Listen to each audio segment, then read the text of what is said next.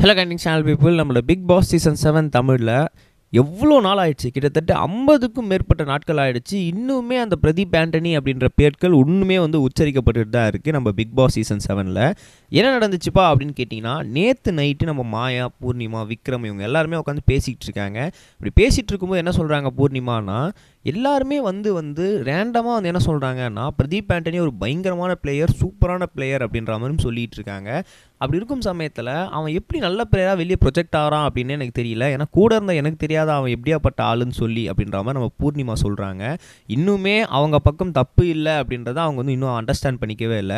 இன்னொரு பக்கம் மாயா என்ன சொல்கிறாங்க அப்படின்னு பார்த்தீங்கன்னா இல்லை இல்லைப்பா நம்ம வெளியே போய் அவங்ககிட்ட எப்படியாவது பேசணும் அப்படின்ற மாதிரியும் நம்ம மாயா சொல்கிறாங்க டேரெக்டாக அவன் வீட்டுக்கே போயிட்டு ஏன்டா அப்படி பண்ண? அப்படின்னு சொல்லி கேட்கணும் அப்படின்ற மாதிரியும் சொல்கிறாங்க ஏண்டா அப்படி பண்ணேன்னு கேட்கணுமா? அப்போ கூட வந்து நாங்கள் தப்பு பண்ணிட்டோம் மன்னிப்பு கேட்க போகலை. ஏன்டா நீ அந்த தப்பு பண்ண அப்படின்னு சொல்லி மறுபடியும் கேட்க தான் போகிறீங்க ஸ்டில் நீங்கள் அவரை தான் வந்து குற்றம் சாட்டிகிட்டு இருக்கீங்க அப்படின்றது தான் இது மூலமாக தெரிய வருது. அப்போ கூட மாயாக்கு என்ன பயம் இருக்குது வெளியே போனால் எதனா நடந்துருமோ? நான் மட்டும் அவன் வீட்டுக்கு தனியாக போக ரெடியாக இல்லை. நம்ம மூணு பேரும் ஒன்றா போகிறதா இருந்தால் போகலாம் அப்படின்ற மாதிரி மாயா பயந்துட்டு தான் இருக்காங்க. இவ்வளோ பயம் இருக்கிறவங்க அந்த ரெட் கார்டுன்ற விஷயத்த சொல்லியிருக்கக்கூடாது ஆனால் அவங்க எல்லாருக்குமே தெரிஞ்சிருச்சு இப்போ ரெட் கார்டுன்றது பொய்யான விஷயமா ஆயிடுச்சு. நம்மள எல்லாருமே குற்றச்சாட்ட ஆரம்பிச்சிட்டாங்க அப்படின்னு மாயா பூர்ணிமா தெரிய ஆரம்பிச்சிருச்சு. ஸோ அதனால் சேஃப் கேம் விளையாடிட்டு தான் இருக்காங்க.